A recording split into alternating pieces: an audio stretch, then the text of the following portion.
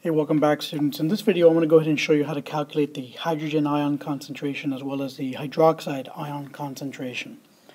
And so the two equations that we're going to use are the following. If we want to find the hydroxide or the hydrogen ion concentration, we're going to use this equation here where the hydrogen ion concentration is equal to 10 to the negative pH. Okay, that's assuming they give you the pH value to begin with. The other equation is going to be the hydroxide ion concentration is equal to 10 to the negative pOH. And so these are uh, generally the two equations that we need to use, and uh, we can go back and forth. So let's go ahead and look at some sample problems here. What if you were given the following? What if you were starting off with an example? Let's say that they gave you that uh, the pH was equal to 2, and they want you to figure out what the hydrogen ion concentration is. So this is what you're trying to solve. And so we really don't know. But if we use the equation here, what is it we're trying to find? We're trying to find, in this particular case, the hydrogen ion concentration, which means we have to use the first equation that was provided to us. And so that equation is going to be the hydrogen ion concentration is going to be equal to 10 to the negative pH. In this particular case, the pH is equal to 2, so we'll put a 2, and that's going to be a negative number. Now keep in mind, even though we write it like this, what we're really saying is the following, that 10 to the negative 2 is really 1 times 10 to the negative 2. Okay? And essentially what this tells us specifically is that we've got a solution that has a concentration of the following. And so notice we're going to go backwards now, a little bit of a review here from first semester. We're going to convert this number, 1 times 10 to the negative 2, we're going to convert it back to a decimal form.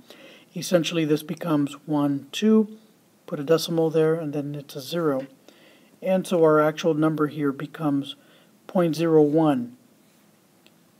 And here it's going to be molar. Okay, so this is what this really means. So when you see a pH of 2, it means that you have a concentration of 1 times 10 to the negative 2, or 0.01 molar. Okay, in this case, they're all going to be molar, really. But essentially, this is what it is.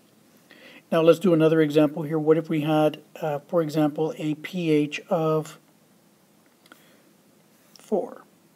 Well, again, if we're doing the convention, let me just erase all the parts that we don't need. Okay. And so we'll try to fill these in in a second. so essentially here, if we've got a pH of 4, our concentration of hydrogen ion is going to be 10 to the minus 4. Okay, or it's going to be 1 times 10 to the minus 4.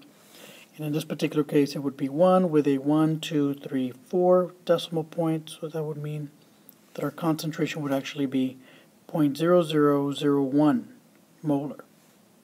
Okay, so these are different ways of converting pH to a concentration. But what if the, the questions we're asking us, well, how do we find the concentration of the hydroxide ion?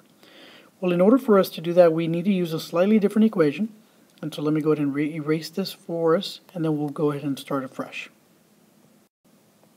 And so what we've got here, let's say we begin with a POH of 3. And the, we want to know what the hydroxide ion concentration is going to be. Well, in this particular case, if we've got a pH of a POH of 3, our equation then is going to be the following. Hydroxide ion is equal to 10 to the negative POH. And what this means is that we're going to have 10 to the negative 3. Or another way of looking at this would be 1 times 10 to the negative 3. Keep in mind that all of these are going to be molar here and molar there as well. Okay? And so this is the way we would do this one. What if we had another number, just to do one more example before we go here. What if the pH was an 8? And so essentially, if we do have an 8 here, and so our POH is going to be an 8, so the concentration is going to be 10 to the negative POH. In this particular case, it becomes an 8, not a 3, and the same thing down here in this particular example there. Notice in each of these examples what we've done is what we've taken is the number, whatever it is, in this case POH, and we just substitute it into the equation. And once we do that, we've got our answer. So essentially, we could do this for various types of POHs or pHs. Okay.